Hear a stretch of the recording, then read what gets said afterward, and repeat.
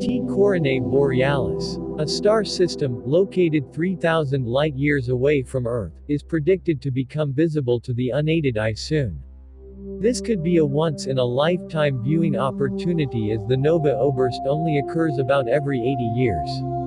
T Coronae Borealis last exploded in 1946 and astronomers believe it will do so again between February and September 2024.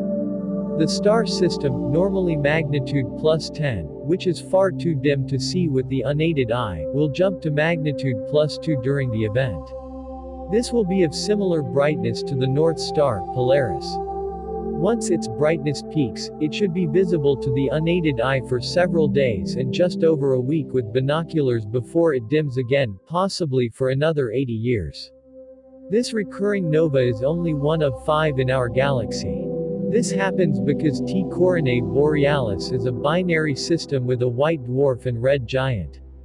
The stars are close enough that as the red giant becomes unstable from its increasing temperature and pressure and begins ejecting its outer layers, the white dwarf collects that matter onto its surface. The shallow dense atmosphere of the white dwarf eventually heats enough to cause a runaway thermonuclear reaction which produces the nova we see from Earth.